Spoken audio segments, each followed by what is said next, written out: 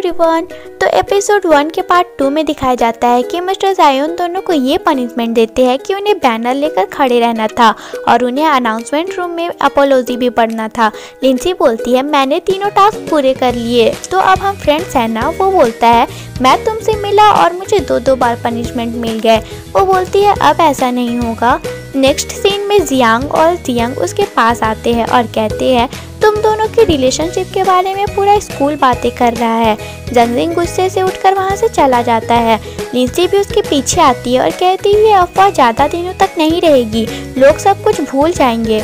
इसके बाद वो अपोलोजी पढ़ने जाते हैं। वहाँ जगजिंग माफ़ी मांगने के बजाय ये बोलता है कि पढ़ाई के टाइम पे बच्चों से ये सब कराना गलत है।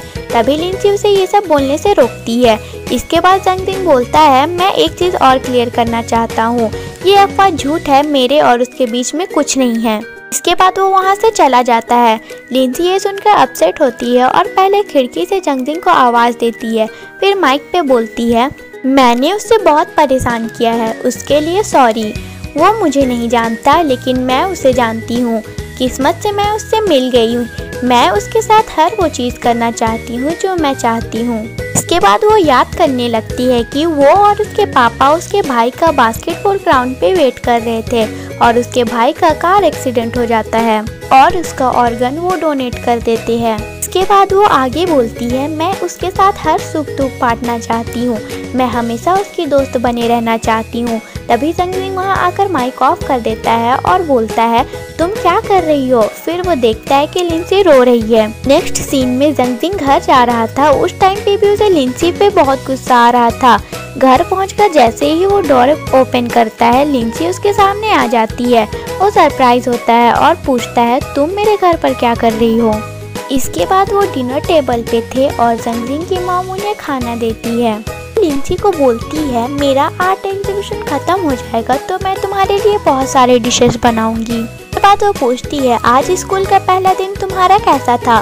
वो बोलती है अच्छा था, मेरे टीचर्स और मेरे बेंचमेट बहुत अच्छे हैं। जिंग बोलता है, उसने आज बहुत सारी प्रॉब्लम्स क्रिएट की है। लिंसी बोलती है, ऐसा नहीं है, मेरे क्लासमेट ने मेरा साथ दिया। जंगजिंग की मॉम बोलती है डिनर के बाद मैं तुम्हें तुम्हारा रूम दिखाऊँगी। जंगजिंग अपनी मॉम को अकेले में लेकर आता है और पूछता है, क्या वो आज यहीं रहने वाली है? की मॉम बोलती है, आज नहीं, जब तक उसका सेमेस्टर खत्म नहीं हो जाता, वो यहीं रहेगी। जंगजिंग को ये बिल्कुल अच्छा नहीं लगता। लिंसी उनकी बातें सुन लेती है। और फिर याद करती है, उनके पेरेंट्स बातें कर रहे थे, उसके भाई का हर्ट उनके बच्चे को डोनेट किया गया है। इधर जंगजिंग की मॉम उसे बोलती है, वो हमारे दूर की रिश्तेदार है, उनका हम पर बहुत एहसान है, इसलिए वो हमारे घर पर ही रहेगी। और तुम्हें घर हो या स्कूल, उसका ख्याल रखना है। लिंसी अपने रूम में जाती है। वो रूम जंगजिंग के छोटे भाई का था, जो अपने डैड के साथ एब्रोड में है। तभी जंगजिंग की मॉम उसके लिए फ्रूट्स लेकर आती है।